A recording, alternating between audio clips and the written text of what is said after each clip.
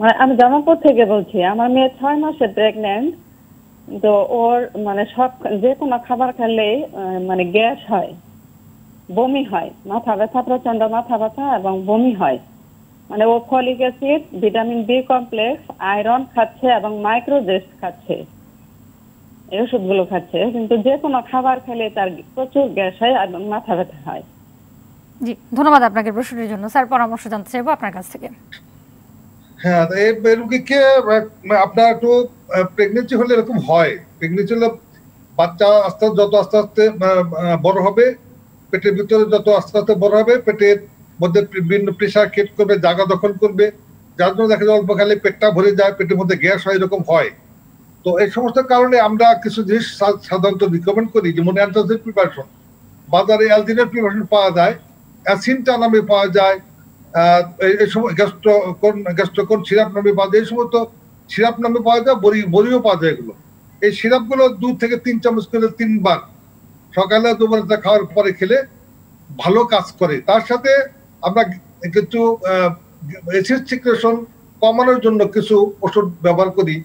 এর মধ্যে অনেকগুলো আছে, যেমন পিপিআই বলি আমরা পিপিআই অথবা প্যান্টোপ্রাজল গ্রুপ তারপর এই সমস্ত গ্রুপ সাধারণত আমরা দিয়ে থাকি। প্যান্টোপ্রাজল গ্রুপটা বলা হয় যে সেফ প্রেগনেন্সিতে আরও ওষুধ আছে সুক্রালফেট নামে একটা ওষুধ পাওয়া যায় সিরাপ ফর্ম ট্যাবলেট ফর্ম পাওয়া যায় এই ওষুধটা দিলেও তারা বেনিফিটেড হয়। তো সাধারণত আমরা যে সোডিয়াম অ্যালজিনেট প্রিপারেশন যেগুলো পাওয়া যায় সিনটা সিরাপ পাওয়া যায় গ্যাস্ট্রোগন সিরাপ এই সমস্ত সিরাপ যেগুলো পাওয়া যায় এগুলো দিলে এই সিমটমগুলো চলে যায়। আর তার সাথে যদি লাগে আমরা গ্যাস্ট্রিকের ওষুধ যেটা আমরা বলি ক্যাপসুল ফর্মে ট্যাবলেট ফর্মে যেমন আমরা বললাম প্যান্টোপ্রাজল অমিপাজল এই সমস্ত ড্রাগগুলো আমরা যোগ করলেই স্যার ধন্যবাদ আপনাকে। স্যার আমরা ভ্যাকসিনের প্রসঙ্গটিতে আসি যেটা নিয়ে আলোচনা করছিলাম আসলে। ভ্যাকসিন প্রয়োগেও করোনা সংক্রমণের ঝুঁকি দূর করা কেন যাচ্ছে না? এটি যদি বলতেন। করোনা সংক্রমণ আবারও বাড়ছে এটি কেন হচ্ছে? আচ্ছা শুরু করে আমি শুরু করেছিলাম এটি যে আমরা তো মাত্র অল্প কিছু সংখ্যক আমার দেশের লোক আঠারো কোটি। তা আমরা মাত্র কয়েক লাখ লোক ভ্যাকসিনেশন অলরেডি ভ্যাকসিনেটেড তো কাজে আমরা তো আমরা তো মেজরিটি এখন আমাদের আনভ্যাকসিনেটেড অবস্থায় আছে। তো কাজে আমাদের দেশে যে ভাইরাসটা অলরেডি এন্টার করেছে, সংক্রমিত হয়েছে, সেটা তো আমাদের দেশে থেকে চলে যায় নাই। আছে তো। এবং এটা তো স্প্রেড করতেছে। যে যেহেতু আমরা, এখন আমরা majority major part of the population unvaccinated আছে, সেজন্য এখন এটা স্প্রেড করতেছে। এখন আমরা ইমুনাইজড হই নাই এই ভাইরাস জিনিসটি। যার জন্য এটা ইদানিংকালে দেখা যাচ্ছে একটু বাড়তি। তবে এটা বাড়তির হারটা তো খুব বেশি তা না তবে ইন ফিউচার বাড়তে পারে। যদি যখন স্কুল কলেজ খুলে দিবে সকল বিশ্ববিদ্যালয় খুলে দিবে তখন কিন্তু এটার সংক্রমণ আরও বাড়ার সম্ভাবনা আছে। এই যে আমরা যেহেতু কোয়ালিটি মেজারগুলো মানছি না আমরা নিচ্ছি না সেজন্য কিন্তু এটা স্প্রেডটা বাড়বে বলে আমরা সরকারও মনে করতে আমরাও মনে করতেছি। আগে থেকে তাহলে সরকারের এই ব্যাপারে পদক্ষেপ নিতে হবে। রিগার্ডিং ভ্যাকসিনেশন এবং prophylactic measures use of prophylactic measures এগুলো ইনশিওর করতে হবে। এবং। সেটা গণমাধ্যম হোক পত্রপত্রিকার মাধ্যম হোক স্বাস্থ্যকর্মীর মাধ্যম হোক যেভাবেই হোক এগুলা প্রচারণা চালিয়ে চালিয়ে দিতে হবে। স্যার আহ, আলম নামে একজন প্রশ্ন করেছেন আমাদেরকে ফেসবুকে যাদের তীব্র আইসিটি অ্যাসিডিটি ও পেপটিক আলসার রয়েছে তাদের করোনা হলে কতটুকু ঝুঁকিতে পড়তে পারেন তারা?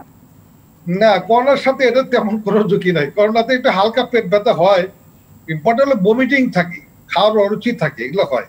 কারও কারও লুজ মোশন হয়। পেপটিক আলসার থাকলে এটা তেমন কোনো ইফেক্ট করোনার ইয়ের জন্য এটা তেমন কোনো ইফেক্ট পড়বে না। এবং এটার জন্য আলাদা কোনো ট্রিটমেন্টও লাগবে না। আমরা নর্মালি পেপটিক যে চিকিৎসা দেই সেই চিকিৎসাতেই রোগীর জন্য এটা অ্যাপ্রোপ্রিয়েট হয়ে যাবে। জি। স্যার কোন কোন সমস্যা দেখা দিলে গ্যাস্ট্রো ইন্টারোলজিস্ট এর দ্বারস্থ হতে হবে মানুষকে? সেটা যদি বলতেন। কয়েকটা জিনিস হতে পারে। একটা যেমন রোগীর খাওয়ার অরুচি। এই করোনা ইনফেকশনের প্রথম সিমটমই দেখা যায় খাওয়ার অরুচি। এক নাম্বার। দুই নাম্বার খাওয়ার মুখে কোনো স্বাদ থাকে না। নাকে কোনো গন্ধ পাওয়া যায় না, খাওয়ার গন্ধ পাওয়া যায় না। এগুলো সাধারণত প্রথমত সিমটম থাকে। তারপরে দেখা যায় তার লুজ মোশন হয়, পাতলা পায়খানা হয় কারও কারও। অ্যাবডোমাল ডিসকমফোর্ট হয়। আর নেক্সট হলো যেটা অ্যাবডোমাল পেইন হয় ভমিটিং হয় কারও কারও। এই সিমটমগুলো সাধারণত হয়। ইম্পর্টেন্ট খাওয়ার রুচি রুগী খেতেই পারে না, খাওয়ার কোনো আগ্রহী থাকে না, খাওয়ার রুচি মানে একদম হারিয়ে ফেলে। কোনো কোনো রোগীর ক্ষেত্রে এই সমস্ত ক্ষেত্রে। তবে মাইল্ড মডেলকে যে সাধারণত সিমটমগুলো কট- কট- খুব যে প্রখর হয় তা না। কিন্তু যদি সিরিয়াস ডিজিজ হয় টোয়েন্টি পার্সেন্ট কেজি সিরিয়াস তাদের যদি দেখেন বিভিন্ন সিমটম যেগুলো লাংস ইনভলভমেন্ট হয় ব্রেন ইনভলভমেন্ট হতে পারে লিভার ইনভলভমেন্ট হতে পারে